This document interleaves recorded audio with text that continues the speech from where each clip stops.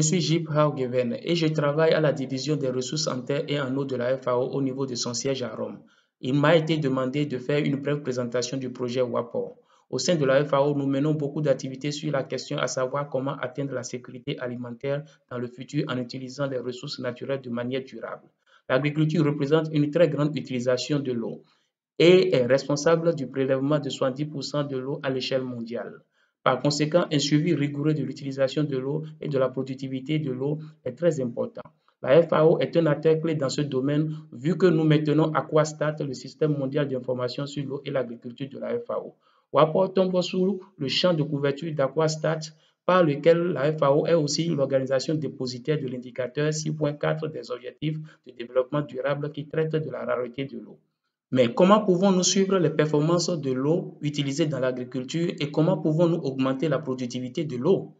Pour aider à répondre à ces questions, la FAO a été approchée par le gouvernement néerlandais qui a mis en place un système de cartographie en accès libre basé sur la télédétection pour suivre presque en temps réel les principales variables de calcul de la productivité de l'eau et cela a donné WAPOR. La FAO n'a pas développé WAPOR seulement en interne.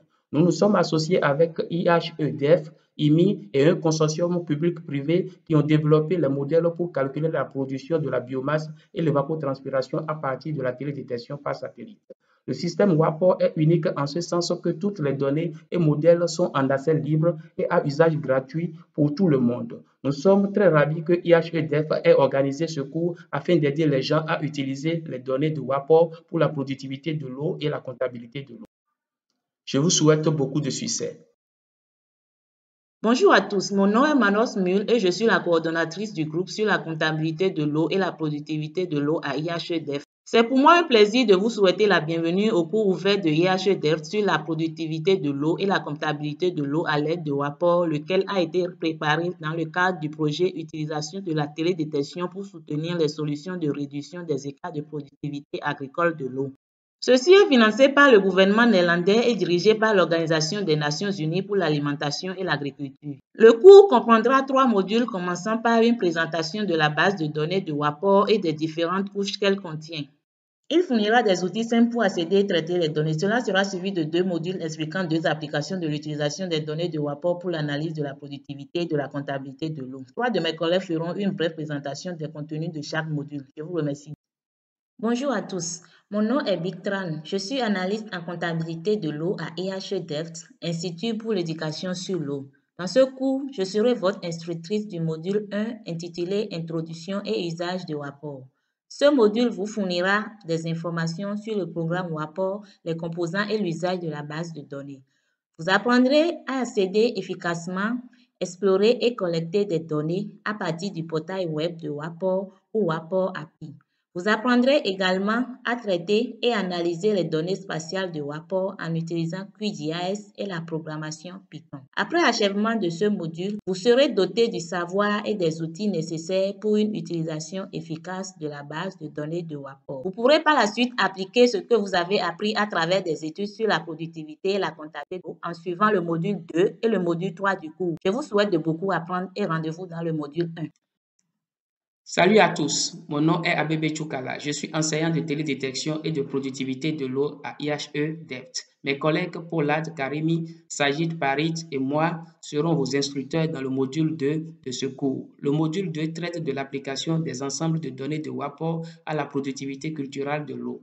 Dans le module 2, vous aurez premièrement une introduction sur la réponse de la culture au climat et vous apprendrez des concepts et des applications de la productivité de l'eau et autres indicateurs de performance tels que l'uniformité, l'adéquation, le déficit relatif de l'eau et les écarts de rendement.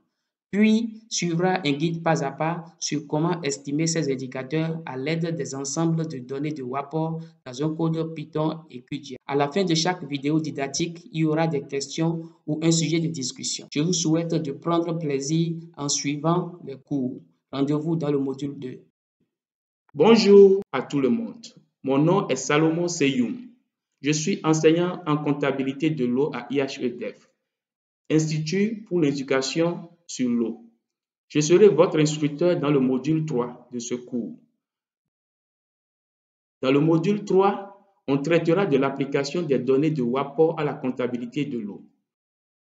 Cependant, la méthodologie peut être appliquée en utilisant des produits de télédétection similaires, mais pas inclus dans WAPOR. Dans le module 3, vous apprendrez des concepts de la comptabilité de l'eau, son importance dans la gestion intégrée des ressources en eau. Vous connaîtrez également les données requises pour la comptabilité de l'eau et comment comparer et valider les données de télédétection avec les mesures in situ. Sur le plan pratique, vous apprendrez à utiliser les données de WAPOR pour évaluer la situation des ressources en eau dans un bassin versant. Je vous souhaite de prendre plaisir en suivant les cours et rendez-vous dans le module 3.